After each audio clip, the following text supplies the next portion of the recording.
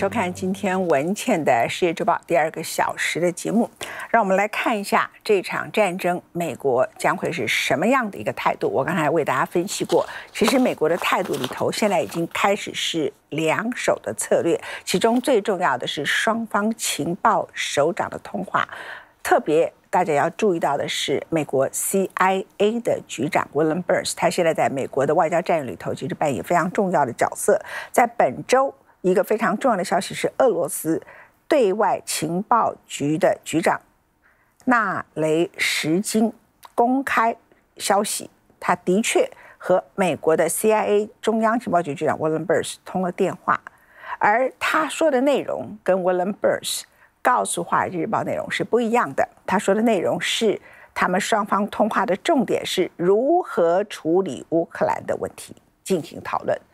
如何处理？这个意思是什么？是指停火协议吗？是指停战协议吗？还是双方不要动用核子武器，或是双方一定程度的节制，不要让战场扩大？没有内容。但是塔斯社就是。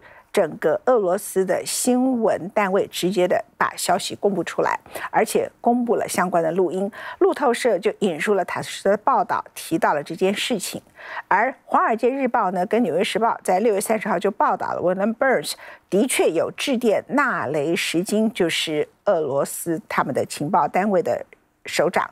但是他向后者保证的是，美国没有在六月二十四号瓦格纳兵变事件里头扮演任何角色，也就是想办法把两个人的通话降到一个非常低阶的不重要的事情。但基本上外界不太会相信的理由是，这样的一个通话不需要跑到乌克兰打电话给克里姆林宫，我们没有介入瓦格纳的兵变，所以双方开始商谈这些事情呢。其实，在之前，包括《纽约时报》。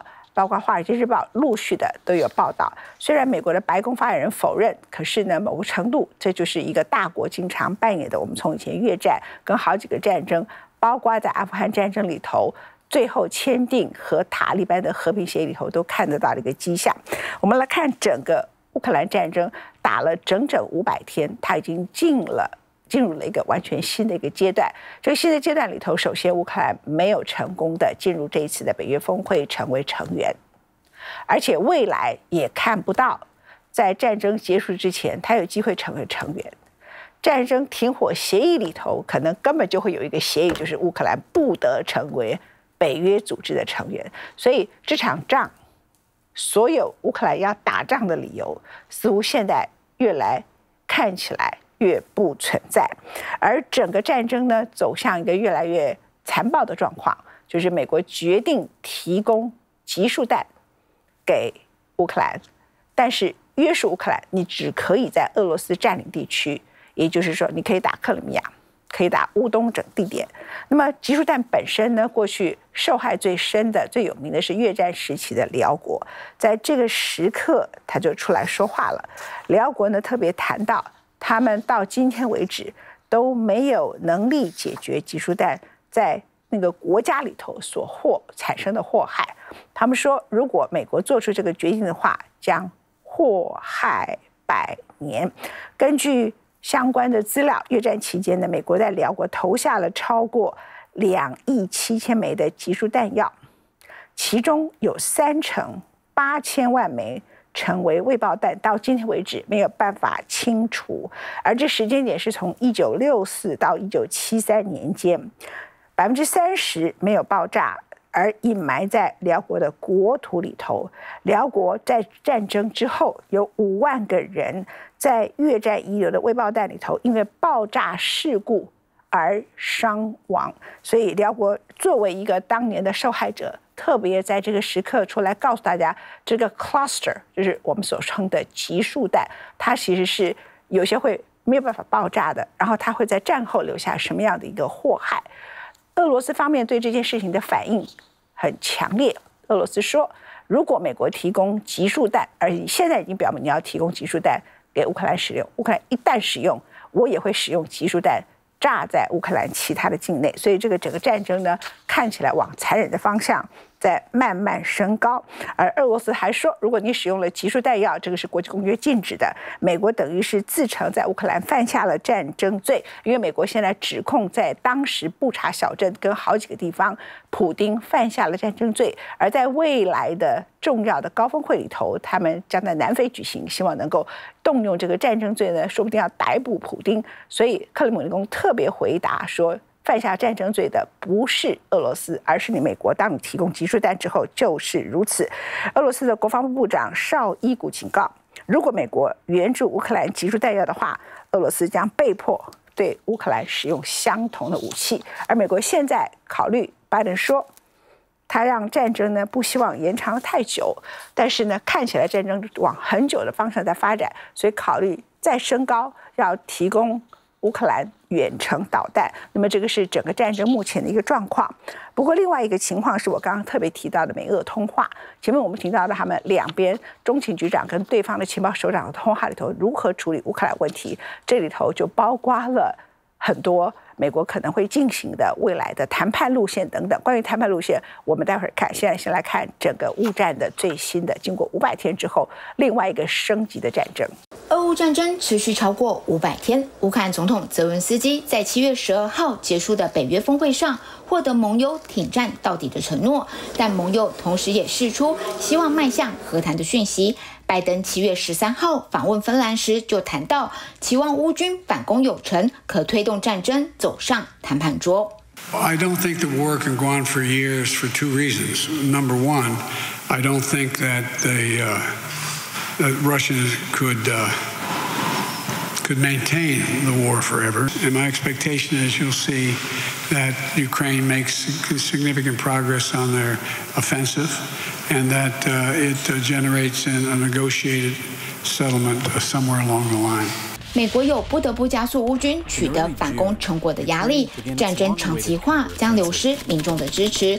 拜登还必须在二零二四总统大选前交出原乌成果，拉抬支持率。但俄军密室抵挡乌军反攻，布置层层陷阱和障碍，架设有刺铁网，挖掘壕沟，安置地雷，成功拖慢乌军进攻速度。Mark Kimmett is a retired U.S. Army Brigadier General who served in Bosnia, Kosovo, and Iraq. According to General Kimmett, part of the reason why the counteroffensive has been so challenging is that the front line is about 600 miles long. What's more, the Russians have had months to prepare their defenses, which are made up of a series of layered obstacles. 为助乌军反攻要进，美国宣布提供上百个国家禁用，美国本身也已停用的集束弹给乌军。美国当然也明白提供集束弹会引发众多批评，白宫辩护说这绝非是容易的决定。但如果俄军打下更多城池，将对乌克兰造成更大伤害，可有效摧毁敌方大炮和装甲车军团的集束。是用来帮助乌克兰保卫自己的国家。The stockpiles around the world and in Ukraine of uh, the unitary munitions, not the cluster munitions, were running low. They're about to be depleted. And so the hard but necessary choice to give them the cluster munitions amounted to this. If we didn't do it, if we don't do it, uh, then they will run out of ammunition. If they run out of ammunition, they will be defenseless. 虽说是为帮助乌克兰保家卫国，拜登政府当然也是为美国利益盘算。Biden has been committed to Ukraine's cause for some time. I think that uh, it's twofold. One is that he wants to turn the U.S., in my opinion, wants to turn Ukraine. In, uh, into the Afghan war that the Soviets had to face, and to dry Russia and bleed them dry rather than to help Ukraine win. It's also inconsistent. We've seen US mm. officials condemn uh, Syria's use of okay. cluster munitions uh, over that entire decade in the 2010s. And US officials have also condemned Russia's use of cluster munitions. Okay. But all of a sudden, it's okay to transfer uh, to Ukraine. 请求美国提供集束弹的乌克兰说：“现在最重要的是尽快把敌人赶出家园，尽早结束战争。即便需要动用会留下 多年危害的集束弹，也在所不惜。不少战区早已布满俄军埋下的地雷，等到重建家园时，乌克兰会彻底清除这些战争遗留的危险弹药。当前俄罗斯入侵比未爆的集束弹更可怕。” використовуємо, але воно змінити може кардинально. 而且在自己的土地上使用集束弹。乌克兰说，他们当然会尽力将危害降到最低，但集束弹之所以饱受争议，就在于其子弹药会遍布大范围地区，哑弹率可高达百分之四十，危及平民生命安全。虽然美国表示，他们提供的集束弹。二零二二年实弹测试的哑弹率低于百分之二点三五，但专家指出，集束弹在不同环境和气候条件下使用会有不同的反应，无法保证在乌克兰战场上使用也会有同样的低哑弹率。This is what these weapons can do. Seen here in a test conducted by the U.S. Air Force last year, you can spot one bomb being deployed, then breaking up into smaller bomblets. Once it reaches the ground, it covers a large area. There's no fancy fuse. They can't tell whether they're being uh, picked up by a child or uh, whether they're striking a vehicle. Uh, they can't tell whether something is a school bus or a, a, a tank. And they can explode, causing quite gruesome injury. 莫斯科批评白宫提供集束弹给乌军，显示美国狗急跳墙，不顾任何后果，也威胁会使用相似的武器反击，还警告如果西方运送 F 十六战机到乌克兰战场，莫斯科会视为这是西方挑衅的核威胁。罗马尼亚、波兰和荷兰等盟友已陆续开始训练乌军操纵 F 十六。Dmytro Kuleba, the Ukrainian foreign minister, reacted to the words of his counterpart in Russia, Sergei Lavrov, predictably, really, saying Ukraine will receive the F 16 fighter jets according to the timetable and Russia will accept it. This after Lavrov had said that the West giving Ukraine F 16s would be considered by Russia a nuclear threat because these are fighter jets that can carry nuclear weapons. 华盛顿邮报报道指出，美国发现普 京计划全面进攻乌克兰时，就定下四大原则，包括北约和俄罗斯不能爆发直接冲突，战争必须限制在乌克兰国境内，加强并维系北约团结，最后军援乌克兰，未将战争局限在俄乌之间。美国也和俄罗斯保持一定程度的沟通。华尔街日报报道指，美国中情局局长伯恩斯和俄罗斯对外情报局局长纳内舍金。开战以来持续保持联系，最近一次通话就在瓦格纳短暂兵变后，伯恩斯向对方强调，美国和兵变没有任何关系。纳雷舍金表示，在约一小时的通话中，他和伯恩斯大部分都在商量怎么处理乌克兰。One day the Americans must come to Russia to talk about Ukraine. So when Americans call, Russia tries to read between the lines to find something. Even if there's nothing, they think the very fact that Americans try to keep contact, it means that they keep the door open and want to signal to Russia that maybe we can somehow start to talk about Ukraine. 乌克兰战争已经来到关键阶段，对乌克兰、对俄罗斯，甚至对美国、欧洲已造成沉重的压力。俄罗斯外长拉夫罗夫最新受访表示，除非西方不再执着于透过乌克兰之手削弱俄罗斯，不再坚持支配国际秩序，战争才有可能结束。拜登政府已展开停火协议的和平路径，二零二四年一纸停火协议，不论泽文斯基同不同意，他都可能得接受西方，尤其是美国提出的停战要求。而美国《纽约时报》报道了一个独家新闻，著名的。Council on Foreign Relations 的前主席 Richard Haas 在今年四月的时候，代表美国的中情局的委托，到了乌克兰以及俄罗斯方面，希望协商出一个可能的谈判策略。到底这是不是事实不重要，重要的还包括了 Richard Haas 在之后发表了一篇文章，刊登在 Foreign Affairs 外交事务期刊里头。Richard Haas 的说法说，他认为未来。第一阶段要先用力打，打到今年年底，形成僵局，接着就要进入第二阶段协商停火。这是外传他代表美方和俄方进行双方密会以后，他所发表的一篇长达两万字的整个相关的一个文章。我们把这个文章里头几个重点为大家做出分析。怎么做才能让已经从自身运转获得充沛动能的高速战争机器逐步降档、减速，到最后终于能够停止下来，仍旧是个牵一发动全身的纠结命题。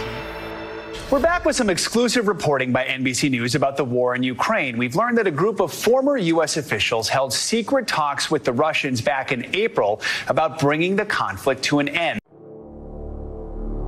七月初，就在美国学界、政界以及舆论对于开启和俄国外交沟通管道呼声越来越大的同时，美国三大电视网的国家广播公司披露，华府民间人士与莫斯科方面代表，实际上在过去几个月中已经进行过多次秘密会议。其中，在四月的一场纽约密会当中，美国智库学者甚至与俄罗斯外长拉夫罗夫见到面，搭上线，展开了一次美俄之间魁违多时。This meeting included several former U.S. officials with deep experience uh, from their time at the State Department, the White House, and the Pentagon, dealing not only with Russia and the former Soviet Union, but also uh, with European issues. It also included uh, Richard Haas, who's the outgoing president of the Council on Foreign Relations, a very prominent face of American foreign policy expertise. And we're told that on the agenda for this meeting was really finding potential off ramps to the war in Ukraine. Began to urge moving to its diplomacy a year ago. 然而，就像战争的结束，最终仍需靠外交。外交的推展也高度依存于战场现实。四月美俄密会中，代表美方出席的两名关键人物，美国外交关系协会理事长理查哈斯和乔治城大学外交事务学者查尔斯库昌，日前在外交事务期刊上就联合发表了一篇长达两万字的俄乌止战说帖。文章一开开头就指出，现阶段而言，想要结束战争，既要打也要谈。学者认为，俄乌双方目前仍有未实现战场目标，并自认有机会更进一步。因此，这时候硬要双方走上谈判桌，其实不切实际。为此，学者在文章中建议采取分阶段、双箭头实战策略。第一阶段是在年底前，以最大的力道和最快的速度协助乌克兰提升军事力量，设法在乌东攫取最大战果。等到乌军的这一波攻势告一段落，第二阶段，华府在适时介入调停，发起外交攻势，向基辅与莫斯科双方同时提出停火协议与后续的和平方案。And it's possible those who think that this is the beginning of the end and it comes quickly might be right if this almost pulls a thread on the sweater. Of, of Russian troop morale and solidarity. I just haven't seen any evidence of, uh, of that yet. Things like Crimea, pretty broad support in Russia for holding on to it. So my own guess again is uh, Ukraine may pick up a little bit here, but uh, collapse, which is what a lot of people are expecting. I just don't yet see. I'm not ruling it out. I just don't see the the telltale signs of it. 曾在布希政府时期担任国务院顾问的哈斯认为，虽然乌军目前士气高昂，西方攻输源源不绝，但这些优势碰上俄国单纯以数量碾压对手的暴力打法，顶多只能战个平手，形成僵局。因此，西方设定的中战策略不应该以推翻普京或是打倒俄国作为最终目标，而是应该以协助乌克兰在谈判之前取得最大战果为阶段性任务。而为达此目的，从此刻到年底这段时间内，西方不但不需因为担心惹火上身而过度忌惮于普京的言语恫吓和核威慑，反而应该加速运送新型武器和优势军火，包括战机和长城飞弹给乌克兰，以协助乌军尽可能在年底前夺回失去的领土，同时壮大乌军声势，以便为第二阶段的外交谈判攒下最多的谈判筹码。We will not waver. We will not waver. I mean that. Our commitment to Ukraine will not weaken. We will stand for liberty and freedom today, tomorrow, and for as long as it takes. 虽然拜登与西方国家领袖一再高喊力挺乌克兰，然而台上口号是一回事，台下的政治现实却是任何一个头脑清楚的政治学者与外交幕僚都无法逃避的人间日常。哈斯与库普查在止战计划第二阶段中明白点出，欧美对于乌克兰的军援力道绝不可能直白按照政治人物所说的理解为一路到底，永无止境。事实上，随着上一笔军援法案预算。算逐步用罄。共和党掌控的众议院对巨额外援的不满日益堆高，再加上2024总统大选季节即将开跑，华府一年多来都顺着乌克兰而吹的政治风向，很可能即将生变。此外，欧洲国家目前虽与华府挺乌立场一致，然而包括法国、英国都正面临战争衍生的通膨、移民等内部问题。等到年底，这些北约国家再次扪心自问，该不该继续帮着乌克兰 这么打下去？听到的恐怕将是不同的民意反馈。You know, for me, the key goal here is is a defensible, secure, prosperous Ukraine. It's not necessarily that Ukraine with 100% of its territorial integrity. And I fear that we could lose Ukraine in trying to save Ukraine. Uh, and as a consequence, I would focus more on making sure that the Ukraine that's out there, whether it's 90% or 95% or 99% or 100%, is a, is a viable country. 根据两位智库学者的止战计划，到了年底，等战场烟消，尘埃落定，趁着双方兵疲马困，西方国家可以顺势提出停火协议，要求俄乌双方部队士兵和武器装备各自从前线拉回一定距离，形成非军事区，并且由中立的国际组织，像是联合国或是欧洲安全合作组织派员监督停火。另一方面，西方也应该寻求中国与印度对协议背书，以敦促和。施压莫斯科当局履行停火承诺。虽然对于乌克兰朝野来说，停火恐怕不是他们真正想要的结局。基辅当局不断重申要恢复主权完整，拿回所有被夺走的乌克兰土地。然而，可以预见的是，在停火后续的和平谈判当中，普京为了确保自己出兵和统治的正当性，势必拒绝交还克里米亚等欠占领土。但反过来说，西方国家也不必同意。以普丁的条件可以继续透过外交手段与国际仲裁来协助乌克兰争取领土返还。只要乌俄同意停火，止战状态能维持下去，时局就有机会回到正常的轨道，防止战火扩大延烧，迈向和平稳定。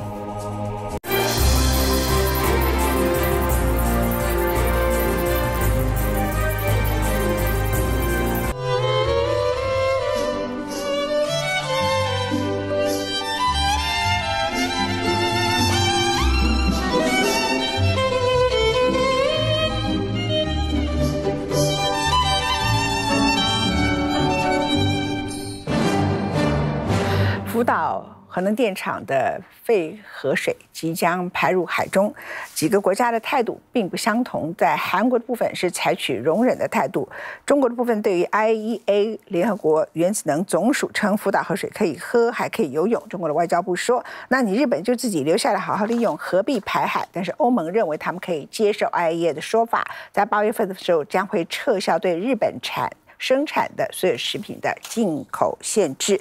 接着我们来看一下相关的北约有一个这次峰会里头重大的一个新闻，在这次北约有一个发展，就是希望建制在亚太也复制一个北约，其中最欢迎的是。日本，而且即将在日本设立办事处，但这件事情呢，在北约主要的创始国里头有旗舰，其中法国的总统马克龙明白的挑战美国的思考，他认为这是使得冷战再次的复制在全世界，全世界应该慢慢的走回整个稳定的情况。如果把整个 NATO 现在。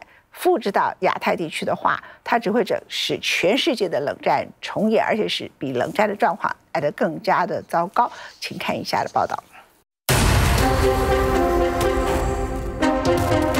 这是一场看似替战争中的乌克兰召集盟友，承诺提供军援，但既不让乌克兰入会，又声东击西，毫不遮掩，以美国为首，思考如何应对中国军事崛起的北约峰会。China is not our adversary, and we should continue to engage. But Beijing's increasing assertiveness affects our security. China is increasingly challenging, challenging the rules-based international order, refusing to condemn Russia's war against Ukraine, threatening Taiwan, and carrying out substantial military buildup. China's nuclear modernization is unprecedented in speed and scale and being carried out with no transparency. Allies agreed to continue working together to protect against China's coercive behavior. 本来任期已届满，但在欧陆和英国之间搞不定之后，美国再次支持延长任期的北约秘书长史托滕伯格点名中国，而非俄罗斯，说他是北约数十年来最严峻的挑战，并强调中国近来对核武能力的重度投资。最快二零三五年就可能具备触及北美，甚至涵盖所有北约盟国领土的长城核弹投射能力。不过，他否认北约将扩大成为全球军事联盟，而是认知到这个区域正面临全球性挑战，中国是其中一环。语带保留的原因之一是欧洲的态度，欧洲反对让世界进入冷战格局。把北约组织延伸至亚洲，并且在日本设立办事处。The Europe now needs to pay more attention to Asia because its security and economic interests are very much at stake and they are very much affected by, by Asia. So this is a sort of a the increasing interconnectivity and interdependence between the two regions, Europe and Asia, is very much driving NATO's engagement in the region. That's quite true. So, so, the, the, so in that sense, yes, of course, we have China in our mind, but uh, NATO is not at all prepared to deter China or expand its responsibilities in the region. 法国总统马克宏是第一个跳出来反对北约亚太化的欧洲政治领袖。他在今年四月主张台海问题维持现状，避免因不切实际的幻想而发生战争的发言，一度被美国媒体 Political 扭曲成欧洲不会介入台海战争。换言之，就算中国解放军攻台，法国也不会介入。马克宏对此郑重澄清：“La France et des Européens et la même sur Taïwan, nous sommes pour le statu quo. Et elle est constante cette politique, elle n'a pas changé. C'est la politique d'une seule Chine et la recherche d'un règlement pacifique de la question. C'est ce que j'ai dit en tête à tête au président, c'est ce qui a été redit partout. Nous n'avons pas changé. ”而这一切直到六月， 美国务卿布林肯访中发表类似声明。七月，财政部长耶伦重申美中去风险不脱钩政策后，这场美国媒体制造的闹剧才告一段落。日本今年五月明确表态，并无计划成为北约成员国。美国驻北约大使也强调，无意邀请任何亚太成员国入盟。現在のこの厳しい安全保障環境の中にあって、欧州とインド太平洋のこの安全保障は不可分です。そして、日本と NATO は世界のどこであっても力による一方的な現状変更を許さない、えー、法の支配に基づく自由で開かれた国際秩序を維持していくことの重要性について認識を共有しています。日本在北约亚太化的过程中一直扮演关键角色。今年峰会一结束，便与北约联合发布升级版合作文件。这份个别针对性伙伴关系计划，包括了双方在网络防卫应对、太空安全保证等十六项领域合作，并扩大日本自卫队参与北约演习及紧急援助的联合行动。虽然文中并未提及北约二零二四年要在东京设立办事处，但是托滕伯格强调，此案并未打消，可能暂延到今年秋天后再提。而中国对北约行诸文字对准中国且措辞强硬的公报不假辞色，第一时间便透过外交部发言人强烈反击。官媒《环球时报》还同步以社论批评该组织已沦为华府的斧头和铲子，所到之处无不是战争根源，呼吁亚洲国家必须不惜代价将之摒除在外。因为北约前进亚太，早在2006年里加峰会前便已展开，当时美国力主与日韩澳纽积极建立伙伴关系，虽然没有得到与会国家认可。没多久，二零一四年，时任日本首相安倍晋三已与北约签订个别伙伴协力合作计划。日本自卫队还多次参与北约为主体的各项军演，特别是在去年，那么日本的首相、防相以及这个总参谋长都参加了北约的相应的会议，可以说是第一次。今年，日本准备与北约积极磋商设立联络处，形同是日本与北约间更紧密的安全与战略合作的深化，并加速北约亚太化，同时使得美国得以统合欧洲和亚太地区这两大军事同盟体系。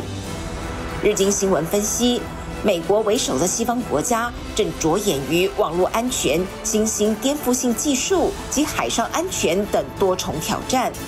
试图透过北约同时防堵中俄野心，这也是自二零二二年北约战略构想首次提及中国的系统性挑战。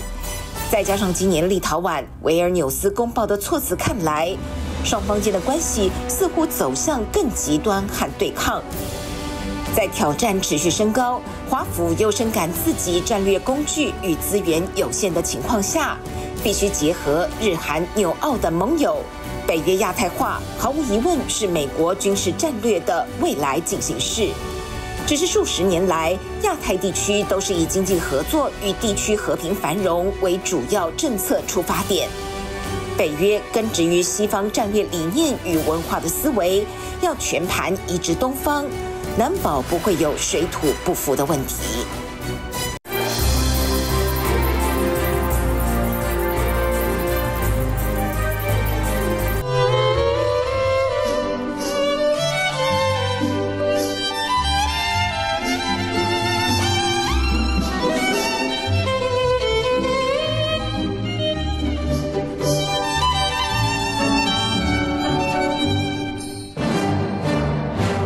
五月份的时候举行大选，而八个反对派为了要推翻当时军人执政的执政党，八个反对捐弃惩戒，也不在乎谁是最大牌，谁是第二排的，全部联合起来对抗军事政府。结果最后投票大赢了，但是大赢以后就会产生了总理吗？不是，按照泰国当时军方所掌握的政权，他修宪。修宪使得总理的产生必须要上院下院全部合起来，而下院是民选的，上院却是军方控制的。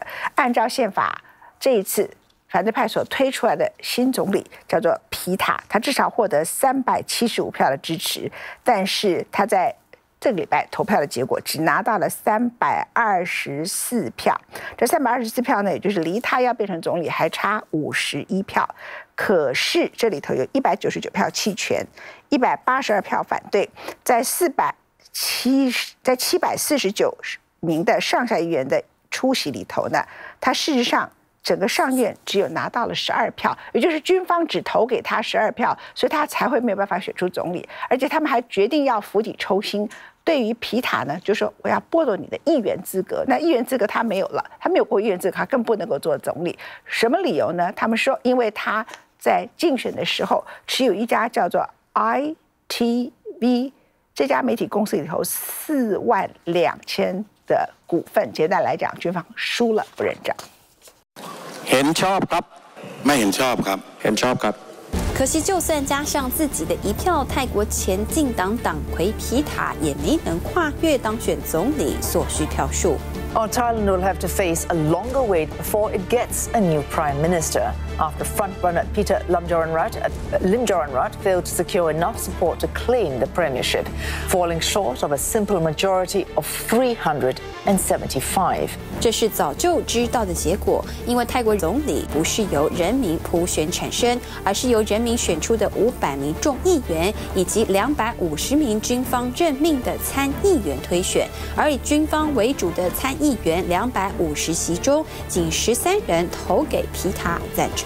票。I accepted, but I'm not giving up.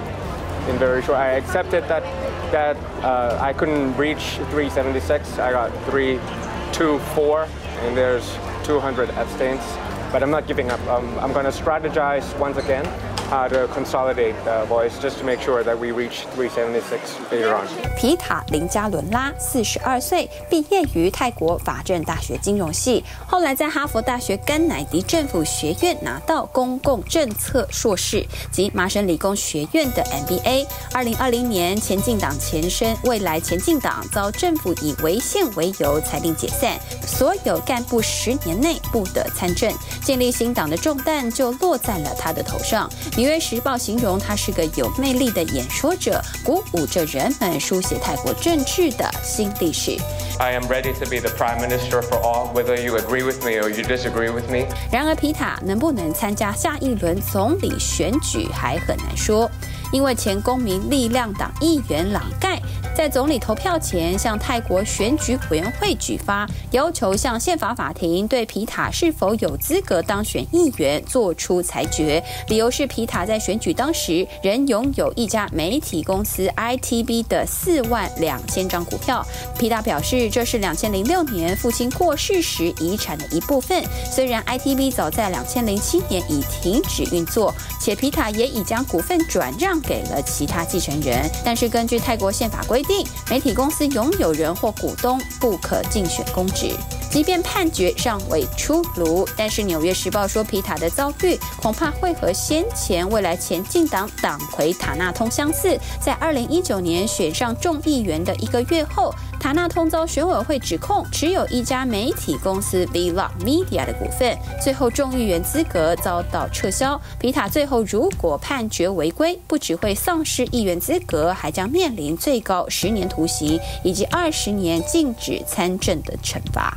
皮塔面临的第二个挑战是针对泰国刑法第一百一十二条的争议。These people love you, but what do you say to the protesters who've been on the streets who want reform? I have no comment. We love them all the same. We love them all the same. We love them all the same. Is there any room for compromise, sir? Thank you. Thailand is a land of compromise. 泰国拥有全世界最严厉的冒犯君主法及刑法一百一十二条，规定任何人诽谤、侮辱或威胁国王、王后、王储或摄政王，最高可判处十五年有期徒刑。二零二零年，从法政大学到清莱皇太后大学，反政府示威在全泰国的高中及大学校园迅速蔓延。尽管在新冠疫情紧急状态下，理论上禁止一切抗议活动，违反禁令可处两年监禁，但是这仍旧阻止不了数以千计的泰国年轻人走上街头。他们最大的诉求是要求军方退出政坛。后来长达数个月的反政府示威，由一开始的总理下台升级为挑。挑战王室，要求修改严苛的冒犯君主法。皮塔领导的前进党在竞选时就曾表明将提议修改这一条法律。ก็ยังเหมือนเดิมนะครับอย่างที่บอกว่าเราได้สัญญากับประชาชนไว้อย่างไรครับเราก็ทำอย่างนั้นแล้ววันนี้ก็มีเป็นนิมิตหมายที่ดีที่正因为这个主张，让包括军方和泰自豪党议员都不愿意支持皮塔。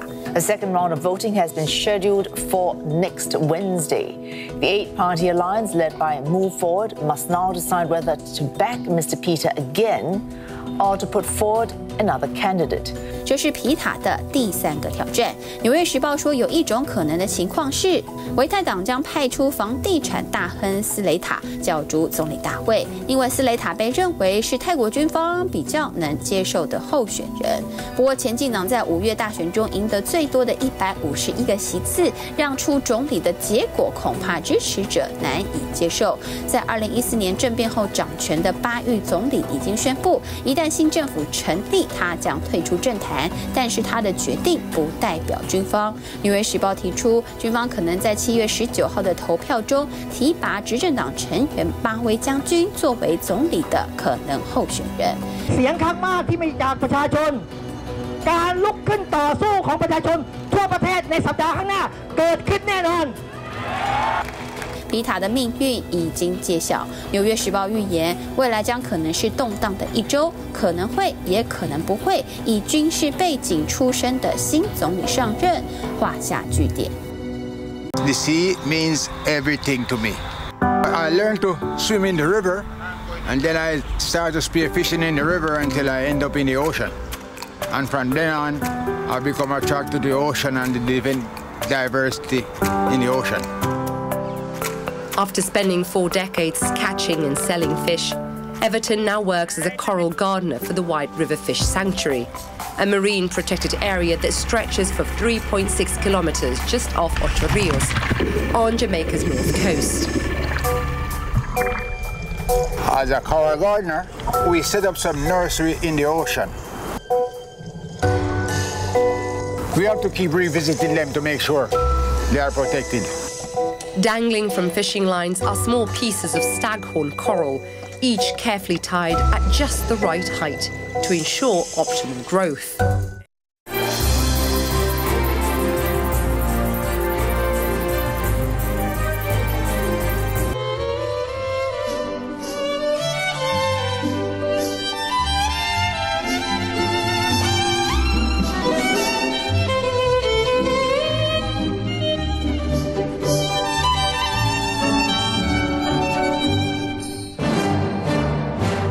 今天从文茜的世界周报欧洲版到世界周报，总体的来看乌克兰问题。事实上，我们如果回顾在这一次北约峰会之前，美国驻北约的大使接受美国 PBS 的访问的时候，他其实就已经把答案讲得相当的清楚。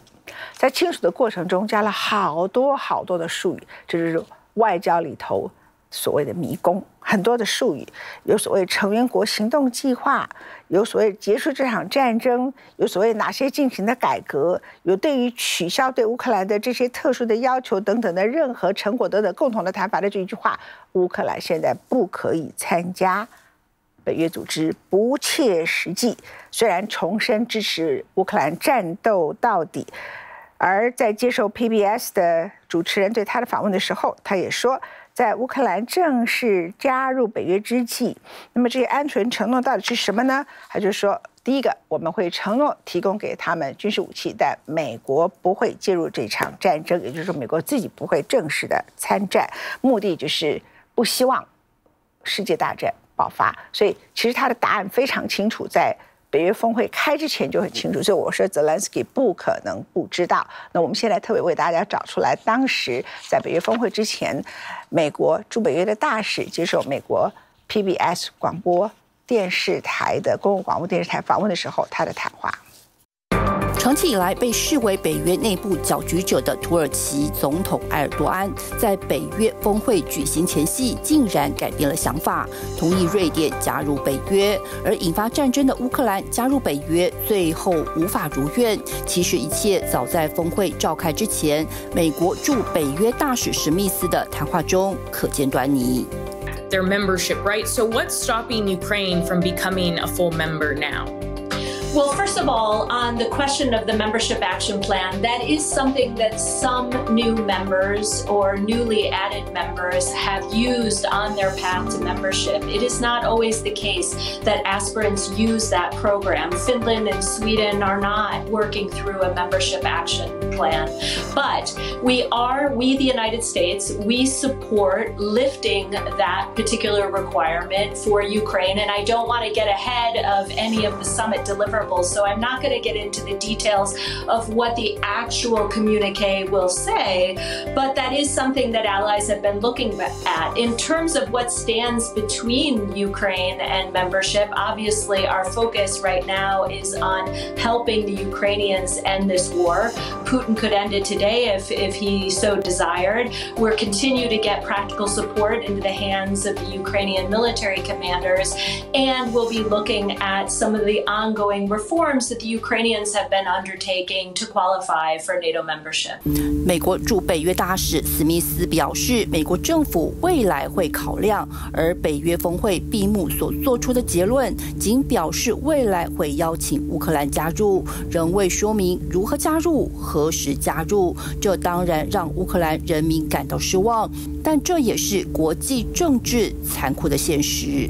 Well, first and foremost, we want, again, the war to end uh, that is currently taking place on Ukrainian territory, and that's the priority number one. But the Ukrainians themselves have talked about the need for additional reforms. There are a variety of democratic and security sector reforms that aspirants need to meet. Ukraine has traveled quite some distance since the alliance said that they would become a member in 2008, but they will tell you, NATO will tell you that we'll continue to work together, that they finish those list of reforms. 这样的说法其实反映拜登总统和其他国家领导人不愿直接卷入乌克兰和俄罗斯的战争。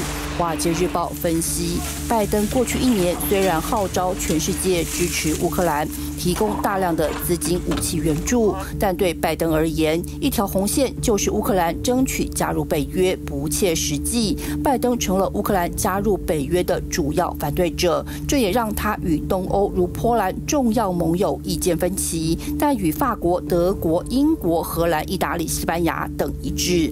We'll say that broadly, before a country joins the alliance, we do work with those aspirant countries on a variety of reforms to ensure that they will uphold all of the values that this alliance is designed to protect. So we look at things like rule of law, we look at their democratization, we look at things like anti corruption. That's standard practice for any new member that's coming into the alliance.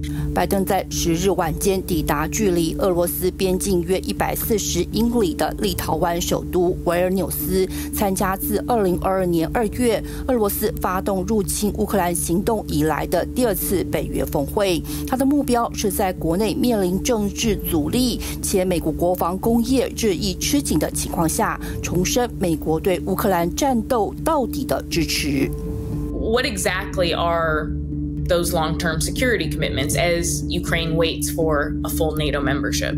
Well, the United States has been in conversation uh, with friends in Kiev to look at the possibility of outlining some longer term security assurances.